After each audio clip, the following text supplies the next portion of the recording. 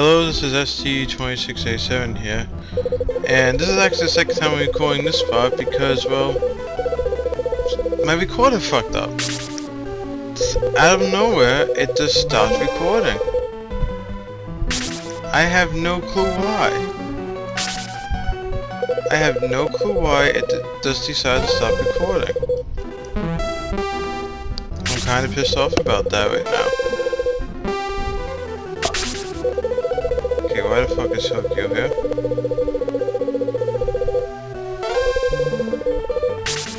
There you are. Last time I fought in the desert and it wasn't recording.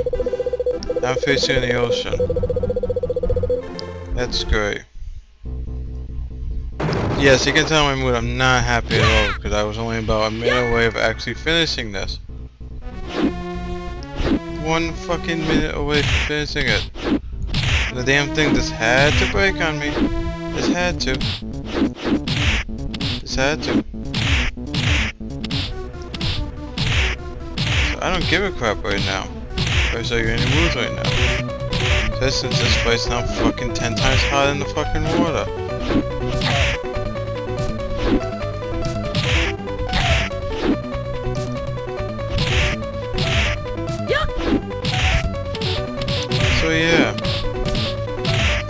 Blah blah blah, kicking her ass right now.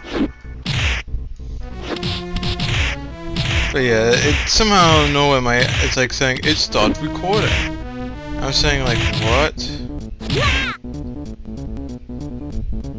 Why the fuck did you stop recording? I did not tell you to stop recording.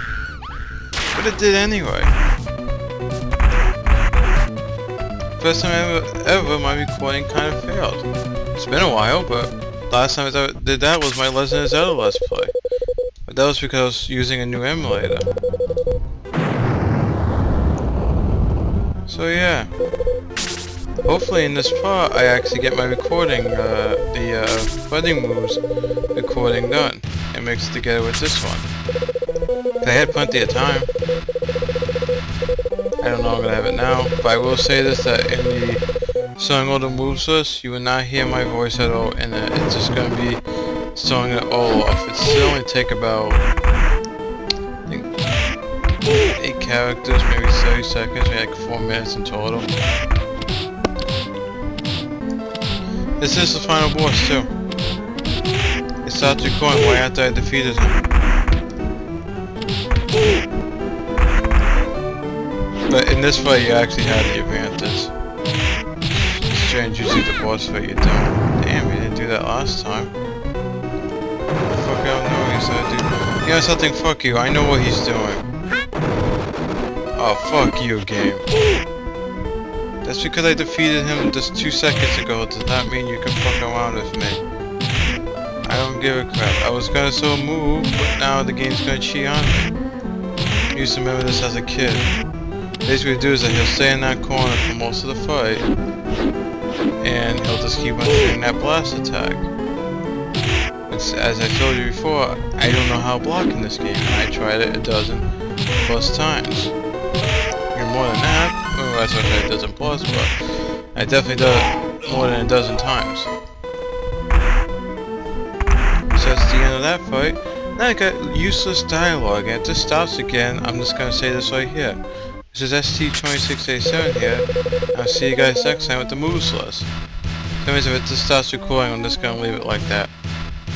Because I'm not doing this fucking again. Is this a lovely let's play or what? I didn't even touch anything, nothing got touched. This uh, stuff, unless somehow for half a second my my hands touch the keyboard and stuff. And shut off it. So let's see if it does it. If it does, I'll just add the credits with another part. It has to do with the credits because the credits did appear for half a second.